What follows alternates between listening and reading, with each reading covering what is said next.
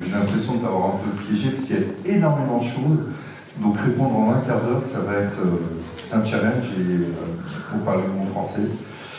Et je te remercie beaucoup. Et puis ensuite, bah, on laissera très rapidement notre intervenant réagir à ta présentation. Et puis ensuite, on, permettra à la salle de se réveiller de sa congélation, euh, pour poser des questions et euh, pour critiquer aussi vos présentations un peu orientées, je trouve.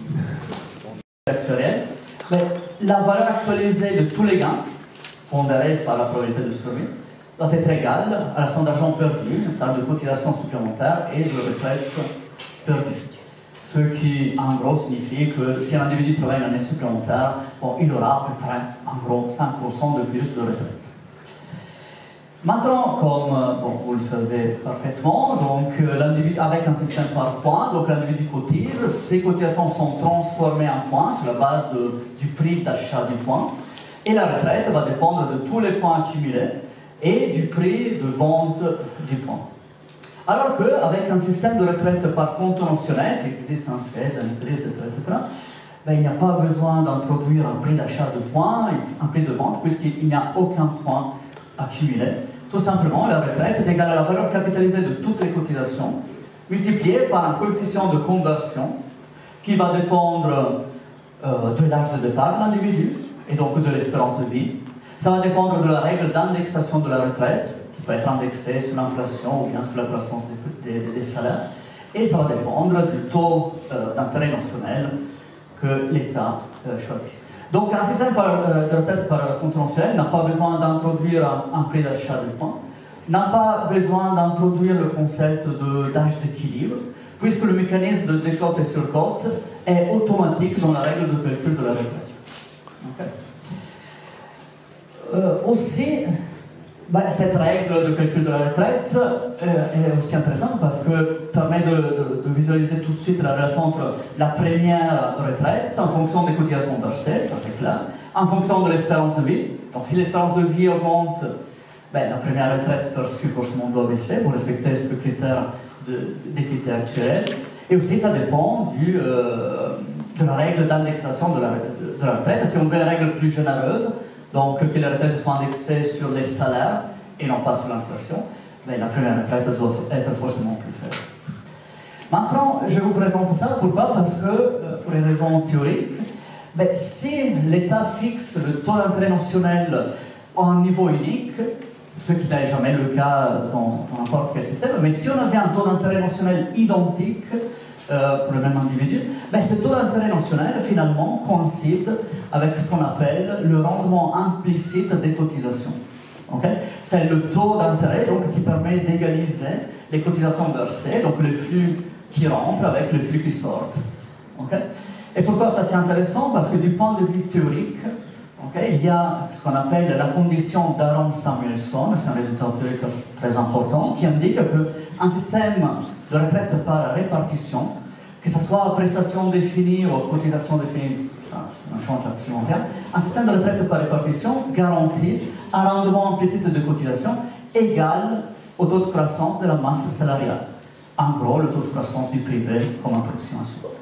C'est-à-dire qu'un système de retraite peut garantir ce taux de rendement égal au taux de croissance de la masse salariale.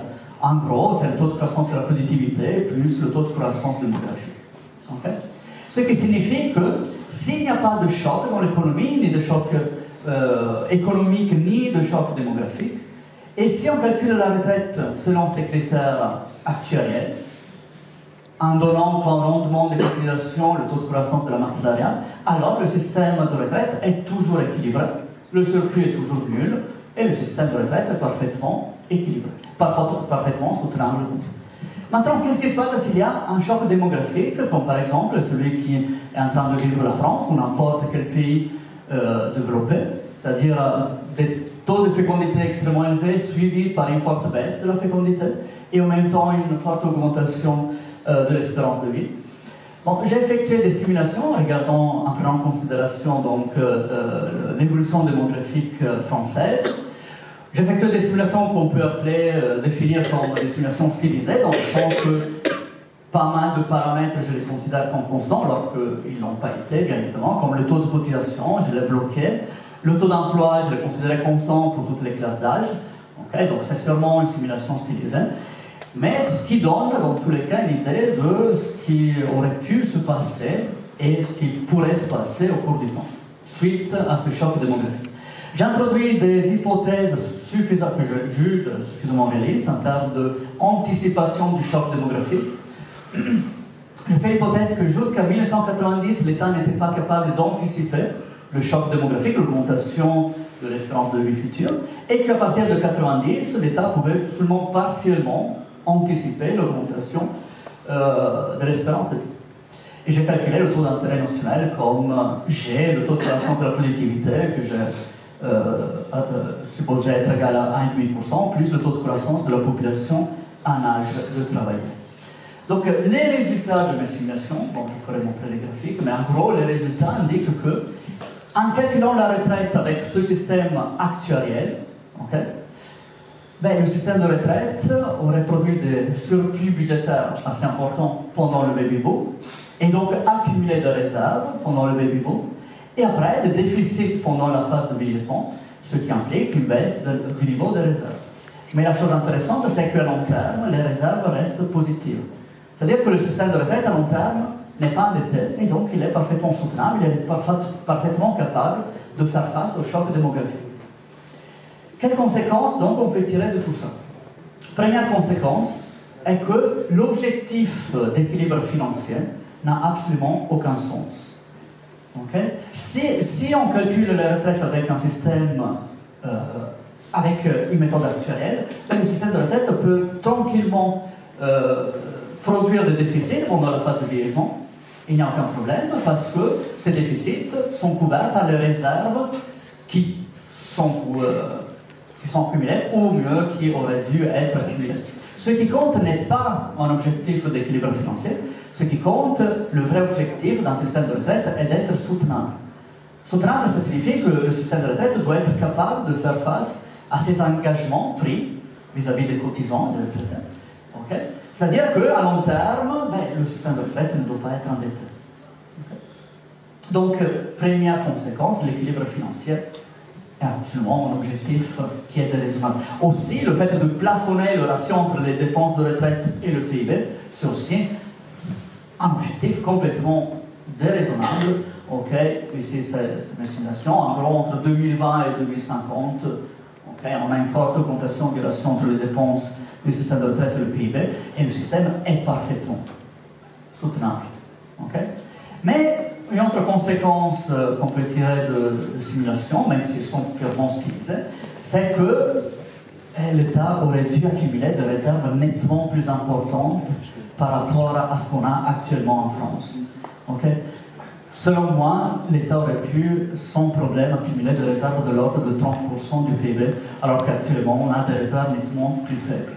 Et selon moi, donc, ce euh, serait intéressant de comprendre pourquoi. Est-ce que dans le passé, les cotisations ont été utilisées pour d'autres finalités, pour financer d'autres types de dépenses? Est-ce que les cotisations ont été utilisées pour payer des retraites aux retraités? Et dans ce cas-là, étant donné que si on avait appliqué un critère euh, actuariel euh, propre, on aurait dû avoir des réserves nettement plus importantes. Est-ce que le système de retraite a, été excessivement généreux dans le passé? Est-ce que le fait qu'aujourd'hui on a un ratio entre la pension moyenne et le salaire moyen qui est égal à l'unité, ce qui est très bien, mais est-ce que ceci, ce résultat, n'est pas la conséquence du fait que dans le passé le système était excessivement généreux? C'est des questions que je pense euh, intéressantes et importantes euh, à se poser, puisque si aujourd'hui on n'a pas de réserve suffisamment importante pour faire face aux déficits futurs, c'est parce que peut-être dans le passé le système était excessivement généreux. Maintenant, un autre aspect que euh, je considère crucial de la réforme est la prise en compte des différences en termes d'espérance. Pourquoi? Parce que si on utilise exactement la même espérance de vie pour tout le monde, eh ben, ceux qui ont une espérance de vie faible, comme ceux qui, euh, en général, euh, ont des salaires plus faibles, ben, eux, forcément, seront pénalisés. Si on utilise les mêmes espérances de vie pour tout le monde, ceux qui ont une espérance de vie plus faible seront pénalisés, donc effectivement euh, vont obtenir un rendement implicite de cotisation nettement plus faible par rapport à ceux qui ont une espérance de vie plus importante. Et euh, il y a un exemple dans le document euh, rédigé par M. Stardignac qui montre un employé du secteur privé qui serait fortement pénalisé par la réforme, alors qu'un cadre ben, s'il part à la retraite à 62 ans, il ne subit aucune perte, alors que s'il part à la retraite à 64 ans, il aurait même un gain. Et du coup, vous avez parlé du caractère anti-redistributif de la réforme. Euh, bien sûr, on est parfaitement d'accord, mais peut-être ce caractère anti-redistributif de la réforme est tout simplement lié au fait que l'État, dans la construction de cette réforme, ne considère pas du tout la différence en termes d'espérance de vie. Euh, ce, qui signifie donc que la, règle de calcul proposée euh, avec cette nouvelle réforme est complètement erronée puisque ne prend pas en considération euh, les différences en termes d'espérance de vie. Ceux qui sont désemployés, ceux qui ont des salaires faibles, ont une espérance de vie nettement plus faible par rapport au cadre et ça doit être absolument corrigé, pris en compte dans la règle de calcul de la retraite. Il y a certains cas, il y a certains cas où l'application euh, des critères actuels, selon moi, doit être absolument mis de côté pour des raisons de justice euh, sociale. Le premier cas est euh, seulement celui représenté par les métiers pénibles, c'est-à-dire des métiers qui nuisent à la santé, qui réduisent l'espérance de vie, qui, en plus, dans plusieurs cas, sont difficilement faisables à partir d'un certain âge.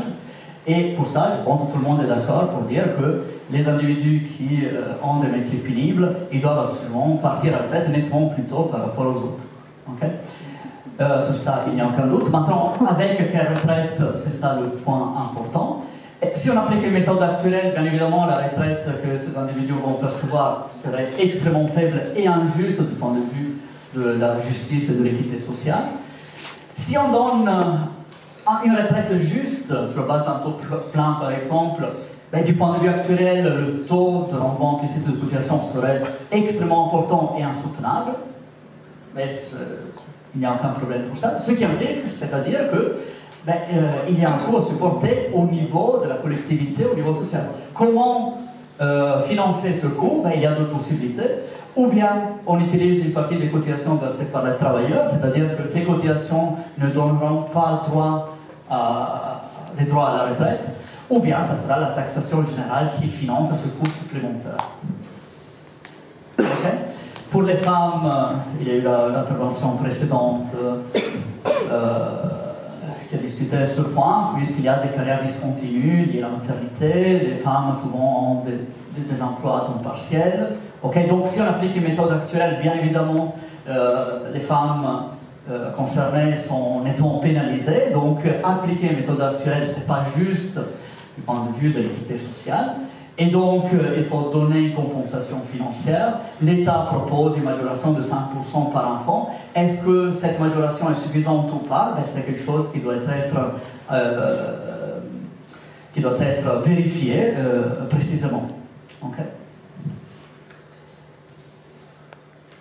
Et donc, euh, bon, je peux conclure en disant que de mon point de vue, pour la plupart des travailleurs, euh, pour la plupart des travailleurs, calculer une retraite selon une méthode, actuelle, mais bien écrite, ce qui n'est pas du tout le cas de la réforme euh, proposée actuellement, bien écrite et qui prend en considération de façon appropriée les différences en termes d'espérance de vie, mais selon moi, c'est quelque chose de suffisamment raisonnable. Bien évidemment, il y a des exceptions où l'application de la méthode actuelle ne doit pas être euh, euh, prise en compte. Les métiers pénibles, le cas des femmes, euh, éventuellement les salaires faibles. Si on veut mettre en place une redistribution supplémentaire, puisque bien évidemment un système de retraite actuel va reproduire la situation d'inégalité qu'on observe déjà dans les salaires. Donc si on veut redistribuer ultérieurement euh, les revenus, on peut effectivement avantager les individus avec des salaires faibles en donnant un taux de remplacement supérieur. et en réduisant le taux de remplacement des individus avec des, salaires élevés. Donc dans ces cas-là, appliquer, euh, appliquer la, méthode actuelle, euh, ça n'a pas beaucoup de sens, donc euh, c'est des exceptions, mais des exceptions qui comportent des coûts extrêmement importants. Des coûts extrêmement importants qui doivent être financés. Il suffit de penser, comme l'a dit M. Sardinian tout à l'heure, au taux de, euh, au, de cotisation employeur payé par l'État sur les fonctionnaires, qui est de l'ordre de 74% pour les fonctionnaires civils et même de 126% pour les militaires. c'est des taux de, euh, de, cotisation extrêmement importants qui sont justifiés par le fait qu'une partie euh, extrêmement importante de ce type de fonctionnaires paraît nettement plus tôt par rapport à un âge normal. Donc, ces prestations qui sont des prestations qu'on peut définir comme des prestations non contributives, doivent être financées. Est-ce qu'il a les moyens pour le faire? Ben, J'ai l'impression que pour l'instant ce n'est pas du tout le cas, puisque le gouvernement pour l'instant propose d'utiliser uniquement 10% des cotisations, puisque c'est 2,81% sur les 28,12% de taux de cotisation total. Donc c'est seulement 10% des cotisations qui seront utilisées par l'État pour financer ces prestations non contributives et j'ai l'impression que ceci n'est pas du tout suffisant pour, pour financer ces prestations dont le montant est extrêmement important et qui doit être évalué précisément. Merci. Je remercie tous euh, les intervenants pour ces présentations riches. Alors je suis sûr que les bonhommes de neige présents dans la salle ont, des questions. Donc, euh, qui aurait le courage de se, de se lancer? Merci.